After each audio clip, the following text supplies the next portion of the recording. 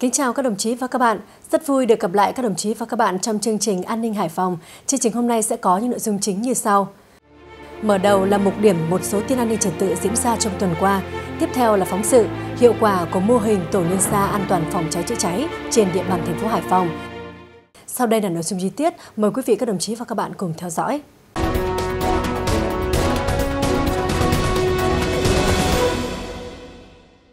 Trong tuần, Thiếu tướng Vũ Thanh Trương, Giám đốc Công an thành phố biểu dương khen thưởng cán bộ chiến sĩ Công an quận Lê Trân đã lập thành tích xuất sắc trong công tác đấu tranh với tội phạm ma túy. Cùng dự có Đại tá Lê Nguyên Trường, Phó Giám đốc Công an thành phố, đồng chí Trần Thu Hương, Bí thư quận ủy quận Lê Trân.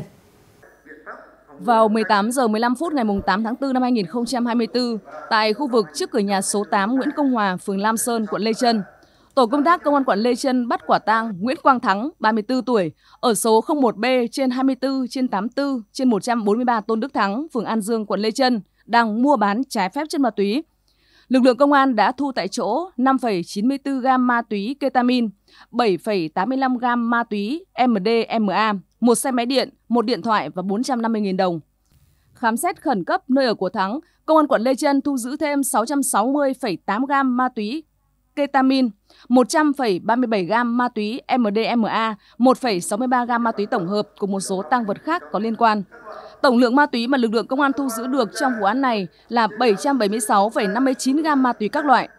Công an quận Lê Trân đã khởi tố vụ án hình sự, khởi tố bị can đối với Nguyễn Quang Thắng về hành vi mua bán trái phép chất ma túy. Với thành tích xuất sắc trên, Công an quận Lê Trân đã được Giám đốc Công an thành phố, quận ủy, Ủy ban nhân dân quận Lê Trân biểu dương khen thưởng.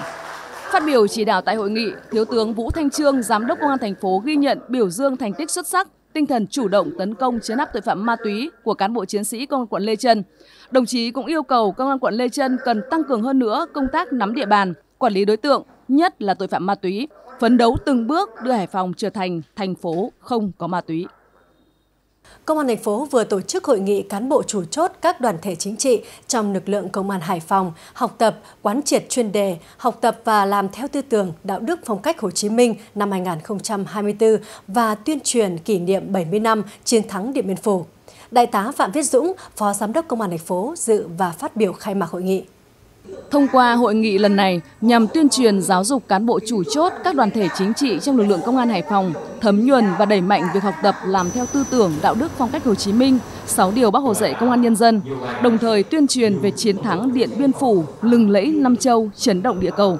Qua đó, giáo dục đoàn viên, hội viên nâng cao bản lĩnh chính trị, nêu cao tinh thần trách nhiệm, tận tụy với công việc, khắc phục khó khăn, thi đua hoàn thành xuất sắc nhiệm vụ được giao.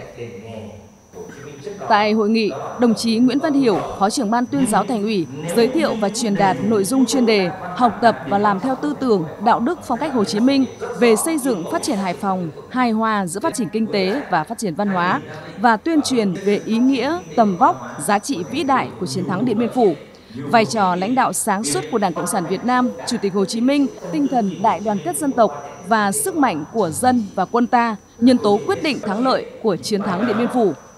Phát biểu tại hội nghị, Đại tá Phạm Viết Dũng, Phó Giám đốc Công an thành phố yêu cầu cán bộ chiến sĩ đưa những nội dung này vào sinh hoạt của tổ chức đoàn, hội, công đoàn các cấp gắn với việc thực hiện nhiệm vụ chính trị của công an các đơn vị địa phương, bảo đảm thực tiễn hiệu quả.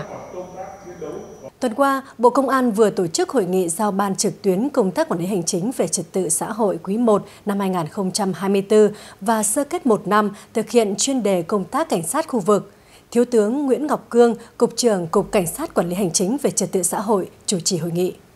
Quý 1 năm 2024, dưới sự lãnh đạo quyết liệt của lãnh đạo Bộ Công an, lực lượng Cảnh sát Quản lý Hành chính về Trật tự xã hội đã tham mưu Ủy ban Nhân dân các tỉnh, thành phố triển khai hiệu quả đề án 06 của Chính phủ và chỉ thị số 04 của Thủ tướng Chính phủ về triển khai đề án 06 trong lực lượng Công an Nhân dân.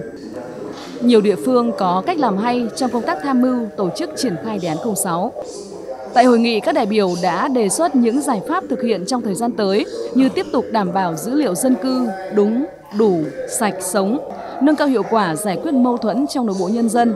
giải pháp quản lý chung cư, khu đô thị, các giải pháp triển khai luật căn cước năm 2023. Phát biểu kết luận hội nghị, Thiếu tướng Nguyễn Ngọc Cương, Cục trưởng Cục Cảnh sát Quản lý Hành chính về Trật tự xã hội ghi nhận và biểu dương những kết quả mà lực lượng Cảnh sát Quản lý Hành chính về Trật tự xã hội đã đạt được trong quý 1 năm 2024. Đồng thời yêu cầu công an các đơn vị địa phương tiếp tục phát huy hơn nữa vai trò thường trực, gương mẫu, đi đầu trong thực hiện đề án 06, nâng cao hiệu lực quản lý các cơ sở kinh doanh có điều kiện về an ninh trật tự, góp phần phòng ngừa, nâng cao hiệu quả phòng chống tội phạm.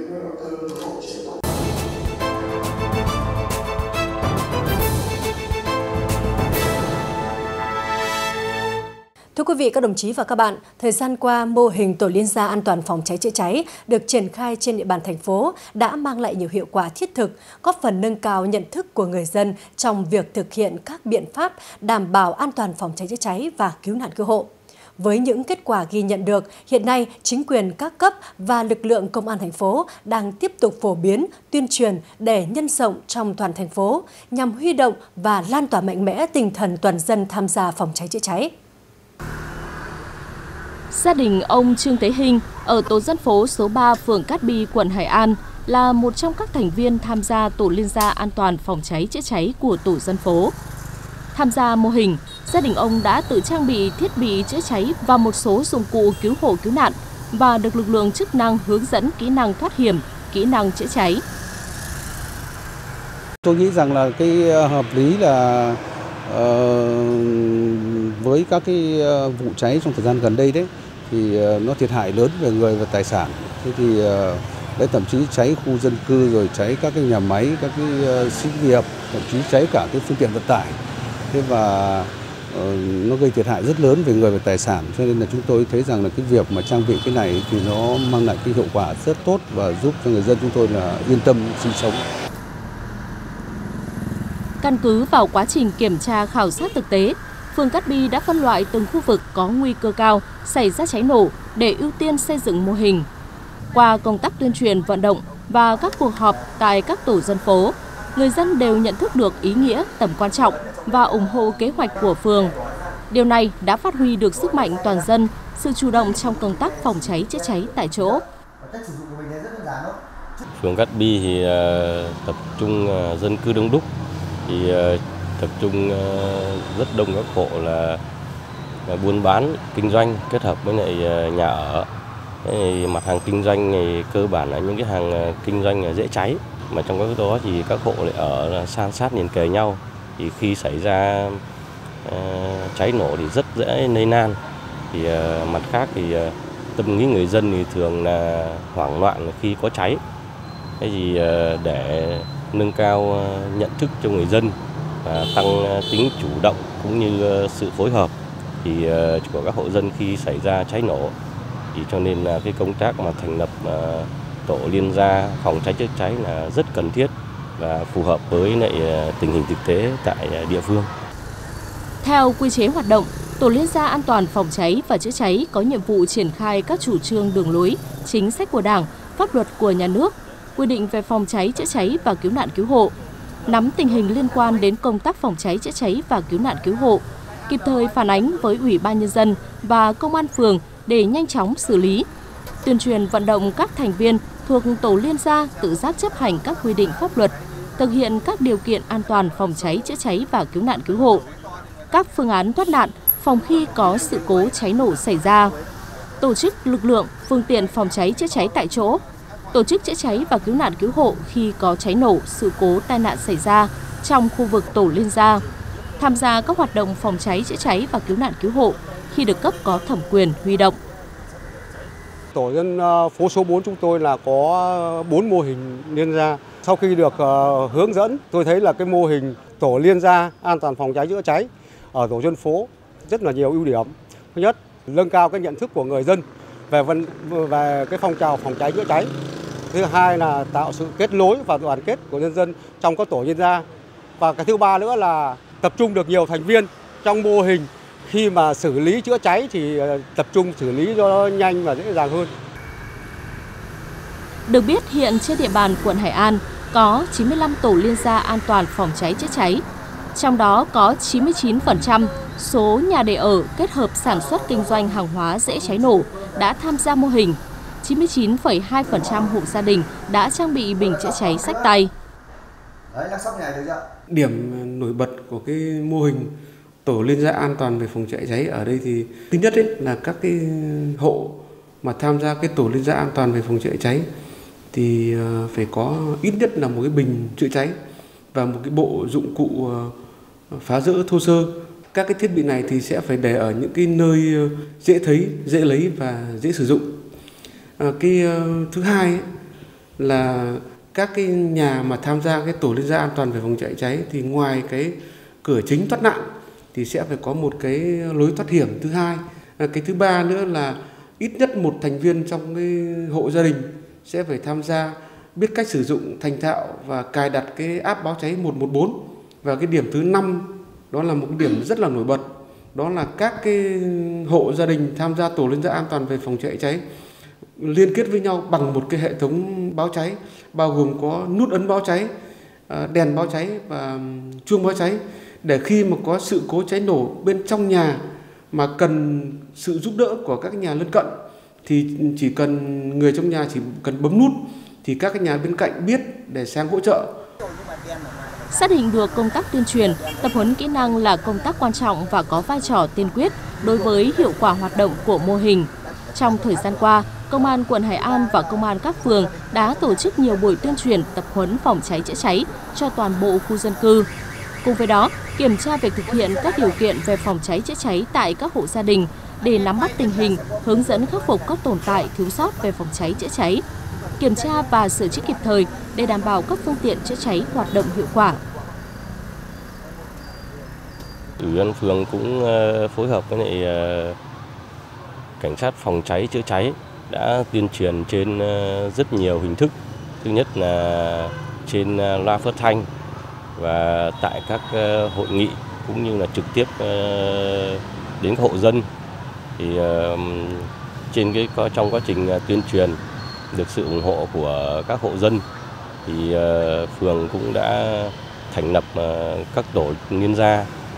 trên toàn địa bàn phường thì ờ, qua cái tổ liên gia thì ủy ban phường đã phối hợp với chỗ công an phòng ờ, cháy chữa cháy cũng đã hướng dẫn ờ, các tổ liên gia cũng như các hộ dân để có cái kỹ năng, kiến thức để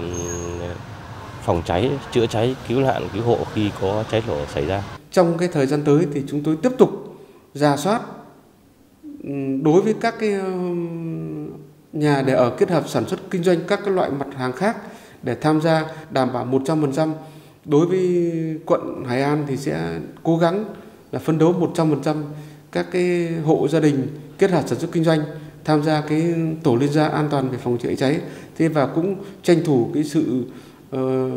đồng tình, ủng hộ của ủy ban dân các phường và nhân dân để ủng hộ cho lực lượng tham gia cái tổ liên gia an toàn về phòng cháy cháy Ngoài ra thì ờ, chúng tôi cũng đối với các cái tổ liên gia an toàn về phòng cháy cháy đã được ừ, xây dựng thì chúng tôi sẽ tổ chức ừ, thực tập phương án chữa cháy tại các cái tổ liên gia này. Thế và tổ chức ừ, huấn luyện nghiệp vụ về phòng cháy cháy, đặc biệt là hướng hướng dẫn cái kỹ năng chữa cháy cũng như thoát nạn để cho mọi người dân mọi người tham gia cái tổ liên gia an toàn về phòng cháy cháy biết ừ, có kiến thức về phòng cháy cháy và đặc biệt là khi có sự cố cháy nổ xảy ra thì mọi người với cái kiến thức đó với cái cái lực lượng và phương tiện tại chỗ thì có thể xử lý được ngay ừ, đám cháy ngay từ giai đoạn ban đầu. Thực hiện chỉ thị số 01 của Thủ tướng Chính phủ và chỉ đạo của Bộ Công an, đến nay trên địa bàn thành phố Hải Phòng đã xây dựng hơn 1.000 mô hình tổ liên gia an toàn phòng cháy chữa cháy tại các khu dân cư, hộ gia đình, nhà đề ở kết hợp sản xuất kinh doanh.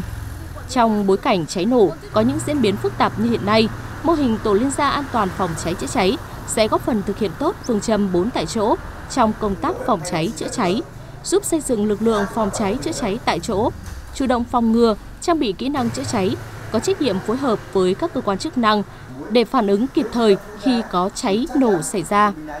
hạn chế đến mức thấp nhất thiệt hại về người và tài sản của nhân dân.